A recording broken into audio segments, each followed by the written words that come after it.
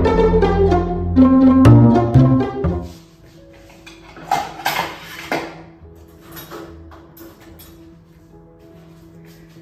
to another episode of the mother and son को। आज मैं आपके साथ शेयर कर रही हूँ एक बड़ी ही क्विक रेसिपी जो हेल्थ से तो भरी हुई है, लेकिन बनेगी बहुत जल्दी। तो उसके लिए मैंने लिया है एक स्प्रिंग अनियन दो ये वाली मिर्चें। सबसे पहले इसको थोड़ा सा धोकर काटती हूँ और साथ में मैं लूँगी थोड़े से स्वीट कॉर्न जो कि ऑलरेडी वॉश्ड हैं।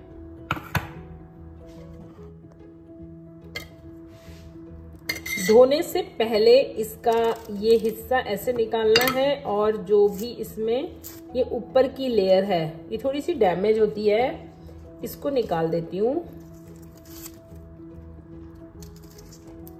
जो एक्स्ट्रा होता है, खराब हो रहा होता है, वो अपने आप ही निकल जाता है, जैसे ही हम उसको जरा सा खींचते हैं। तो अब इसके आगे से हल्के हल्के ये निकाल लेते हैं, जो थोड़े ड्राई हो रहे हैं। इन मिर्चों का भी ये हिस्सा थोड़ा सा निकाल लेंगे।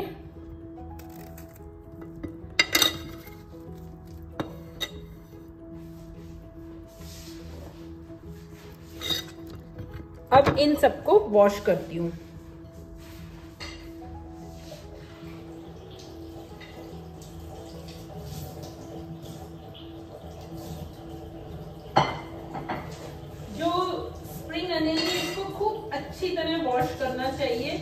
क्योंकि इसमें जो पत्ते हैं, इसमें अंदर अंदर डस्ट हो सकती है या ये सड़े हुए हो सकते हैं तो उस हिस्से को फेंक देना चाहिए।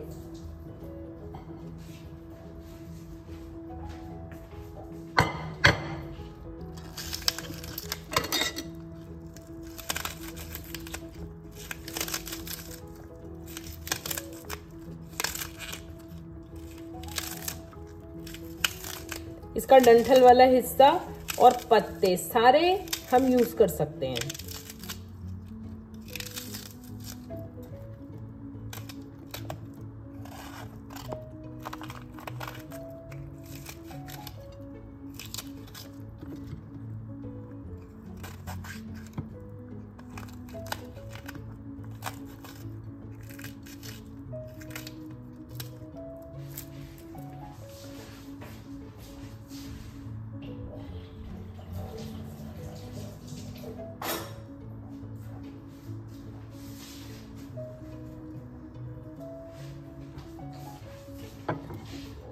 अब इन सबको पीसना है। अगर बहुत छोटा काट सकते हैं तो ठीक है, वरना इनको पीस लेना ही अच्छा रहेगा।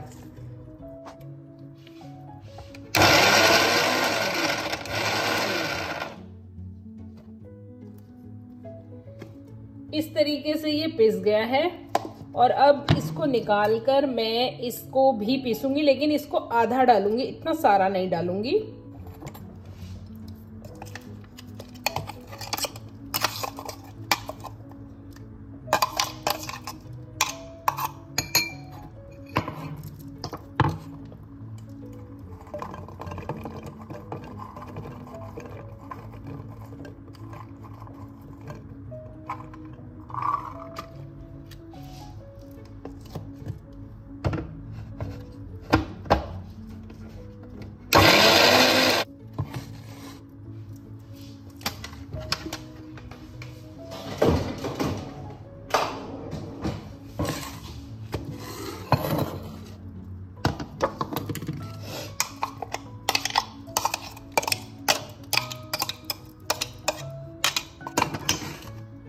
इसमें थोड़ा सा ओट्स मिक्स कर रही हूँ।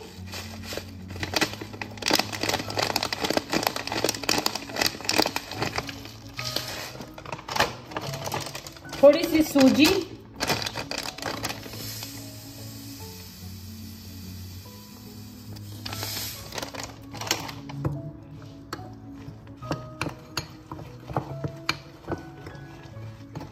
ओट्स और सूजी अंदाजे से कम ज़्यादा कर सकते हैं।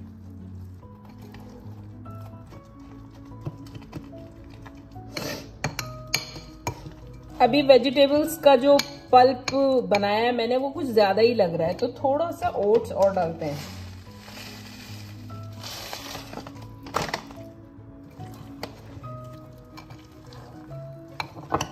स्प्रिंग अनियन भी थोड़ा थोड़ा आइज़ में लगता है काटने के बाद। मुझे अभी लग रहा है ये आईज में। तो अगर आप इसको बना रहे हो तो इस चीज़ के लिए प्रिपेयर रहें। अब इसमें जो ये लगा हुआ रह गया था, इसी में थोड़ा पानी डाल के इसमें डालूँगी, क्योंकि अभी मैंने इसमें सूजी भी डाली है, ओट्स भी डाले हैं। तो वो सोख होंगे, उसके लिए पानी थोड़ा सा इसमें चाहिए।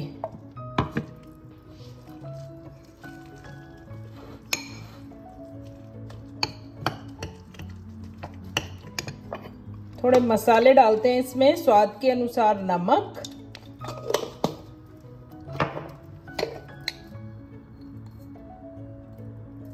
काली मिर्च।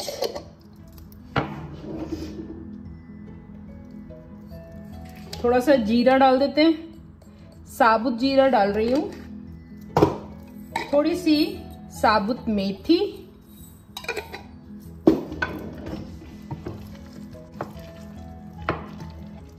मिक्स करके थोड़ी देर के लिए इसको ढककर रखना होगा। ढक के छोड़ देंगे, इसको सोक होने देंगे, उसके बाद बनाते हैं इससे एक डिश अब ये देखो आप कितना फूल गया है। एकदम मिक्स हो गई हैं सारी चीज़ें एक साथ और अब मैंने इस पे गैस पे रखा है अप्पा स्टैंड गैस को ऑन करेंगे।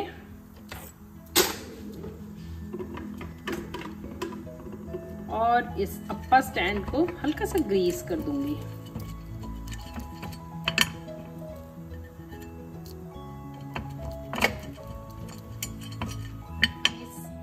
ग्रीस करने के बाद थोड़ा सा हल्का सा गर्म हुआ है ये, और अब मैं इसमें इसको भर दूँगी।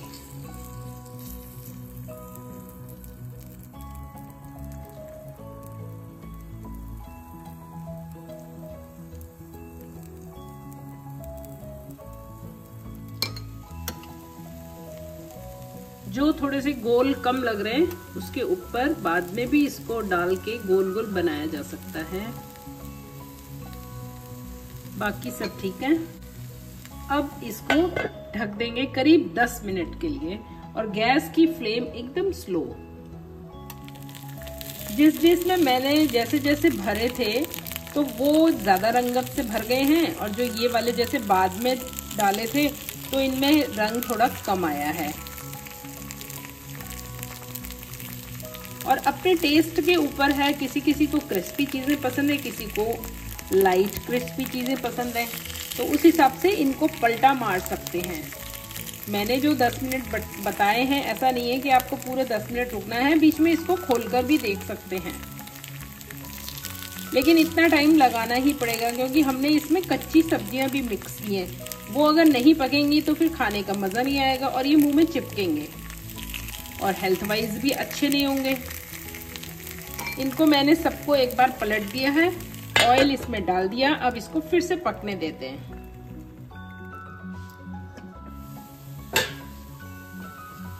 ये देखो, आप बिल्कुल पक्के तैयार हो गए हैं। इनको निकालते हैं। बाकी जो मैंने बाद में डाले वो आप अगर देखो तो एक एक साइड से थोड़ा थोड़ा उसमें कलर नहीं आया है किसी किसी में आ गया है। तो बाकी को सबको चेक करना है। जितना कलर जिसमें चाहिए, वो मैंने आपको बता दिया है, वो आपके ऊपर है। लेकिन मैं क्या करूँगी कि जो ये तीन खाली हुए हैं जब तक इन सबको मैं निकालूँगी, पलटूँगी, तब तक मैं इसमें इनको भर देती हूँ बचे हुए मसाले को, ताकि ये भी इसी हीट में साथ साथ पकते रहेंगे।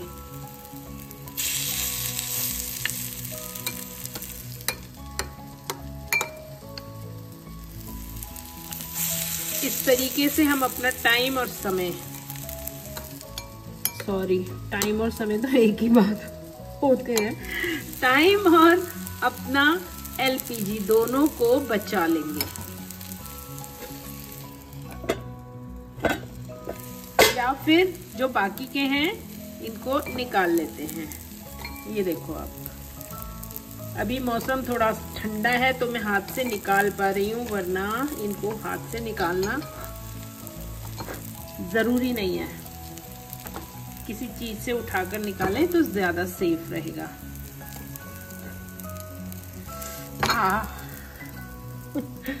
चलो जी, अब इनको थोड़ा सा पकने देते हैं। अब आप देखो इनकी शक्ल। ये देखो, कितने अच्छे लग रहे हैं।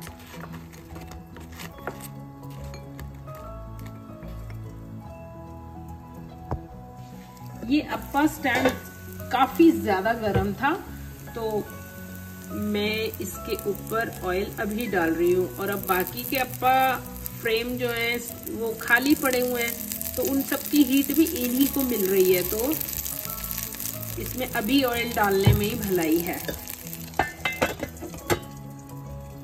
ढकना ज़रूरी वरना सब्ज़ियाँ कच्ची रह जाएँगी। और ये अभी बहुत ज़्यादा गर्म है, इनको अब मैं आपको टेस्ट करके दिखाती हूँ। अप्पे बनके तैयार हैं और फिर चाय भी बनके तैयार है।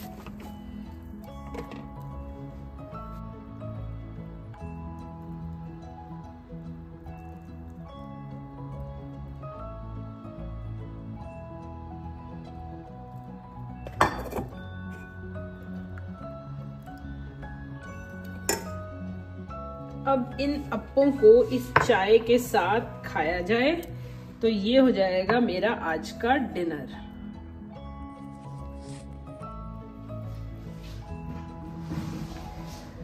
डिनर में ज़रूरी नहीं होता है कि हमेशा रोटी, सब्ज़ी, दाल, चावल ही खाए जाए। इस तरीके का खाना खाना भी बहुत हेल्दी होता है।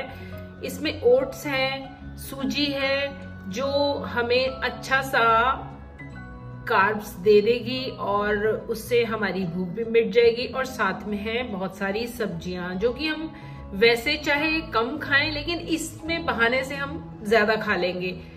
तो एक टेस्ट करके बताती हूँ आपको, ठंडा सा अप्पा। पहले आप इसकी शक्ल देखो अंदर से। ये देखो आप, ऐसा है ये, पक गया एकदम।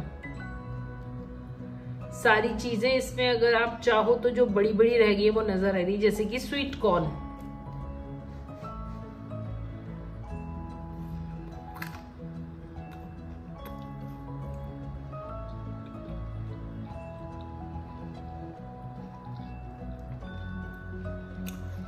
बाहर की लेयर काफ़ी अच्छी मोटी सी क्रिस्पी हो गई है और अंदर एकदम सॉफ्ट सॉफ्ट है, लेकिन पका हुआ है।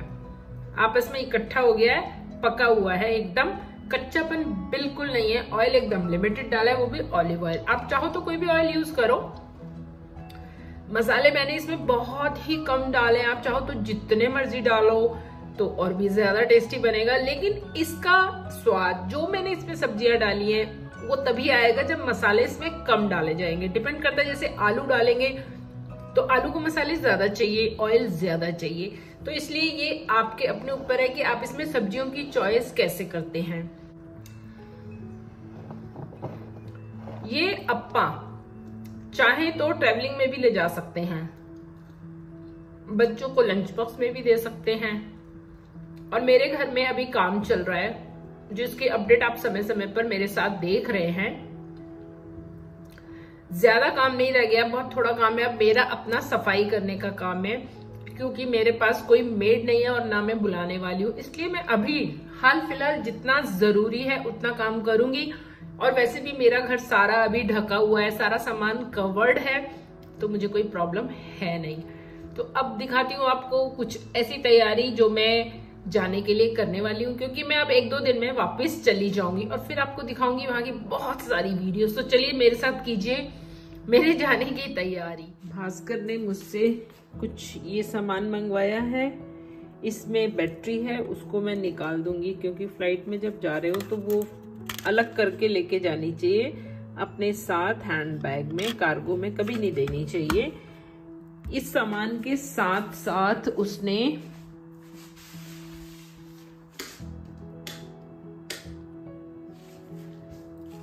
ये निंटेंडो वी का कुछ सामान है उसका।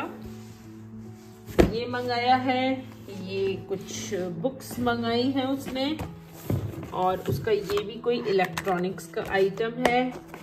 ये एक पैक मंगाया है।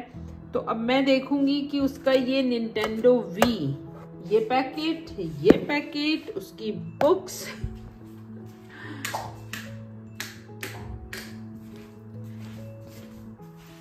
उसका ये सब सामान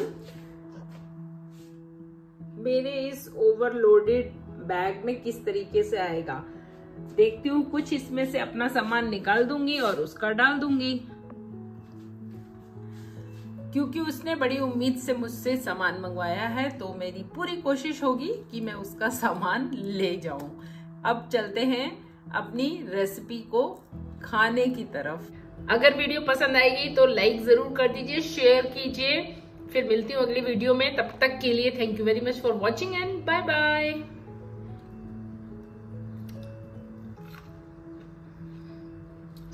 स्वाद है।